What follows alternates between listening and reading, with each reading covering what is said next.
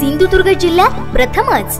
ओरोस इथं Mahindra first choice multi brand car service workshop Jaitapkar automobiles.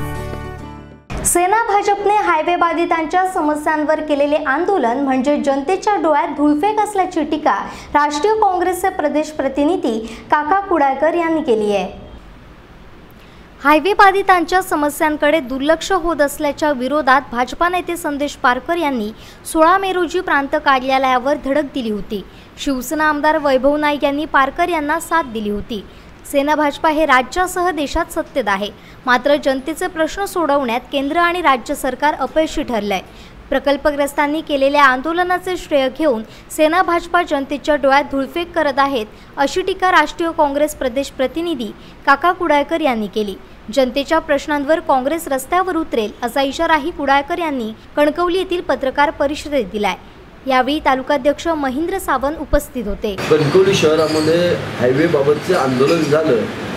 उत्स्फूर्तपणे जनतेनं आंदोलन केलं. पण त्याचं श्रेय घेण्याचं काम सेना भाजपचे नेते करत होतं आणि ते दिशाभूल करत होते.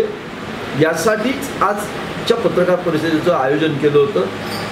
कारण हे सरकार अपयशी झालं. हे अपयशी सरकार झाल्यामुळे यापुढे जनता आपल्याला थारा देणार नाही. याची जाणीव झाल्यामुळे सेना भाजपचे नेते आता सरकारच्या विरोधात आंदोलनात उतरले.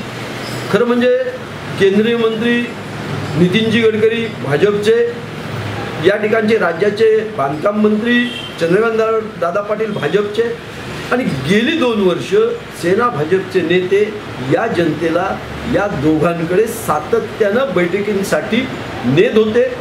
तुमचे प्रश्न सोडवले जातील असं सांगत होते. परंतु या दोन्ही मंत्री आज पूर्ण अपयशी ठरलेत.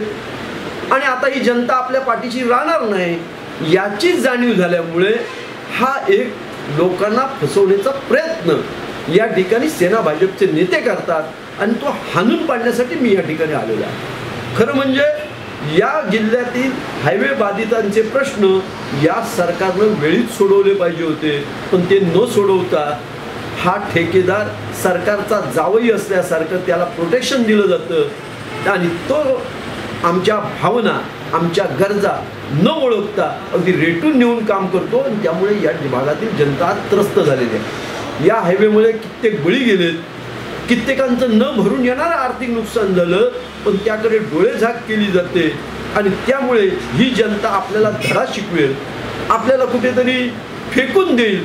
याची जन जा जाणीव या ठिकाणच्या भाजप सेनेच्या जनते नेत्यांना झाली.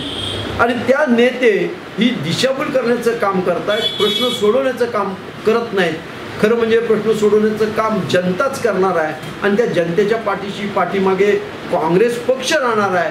खऱ्या अर्थानं काँग्रेस पक्ष न्याय येऊ शकतो याची जाणीव करून देण्यासाठी आम्ही रस्त्यावर उतरणार आहोत. आणि यांचा बुरखा जो सरकारचा या सगळ्या जनतेच्या विरोधातला बुरखा आम्ही फाटल्याशिवाय राहणार नाही.